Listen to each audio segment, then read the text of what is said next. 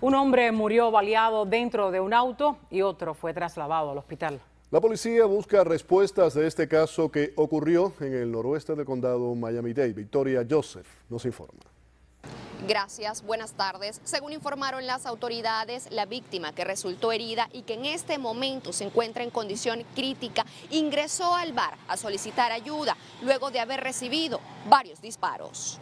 Te parece una, una película que hay una balacera. El incidente ocurrió pasadas las nueve y media de la noche de este domingo. El herido llegó caminando en busca de auxilio al conocido Pop Churchill en la calle 55 y la segunda avenida del noreste. Es interesante porque yo no escuché nada. Yo estaba aquí a esa hora y lo que vi fue que de un momento a otro llegaron decenas de policías y cerraron la calle.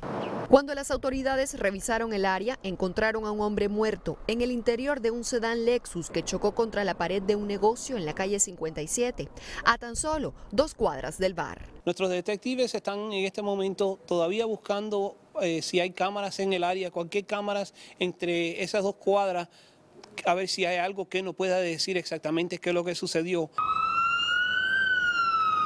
El herido fue trasladado al hospital Jackson donde se mantiene en condición crítica. Sospechamos de que estaban juntos cuando fueron baleados. No sabemos si la persona que caminó hacia el negocio estaba dentro del carro cuando sucedió, cuando se hirió. Debido a este incidente, residentes del sector manifestaron preocupación por la inseguridad. Esto se ha puesto muy caliente. Siempre ha habido balacera pero hasta primera vez que se oyó que ayer había un muerto y hay un herido que dice que está en el hospital.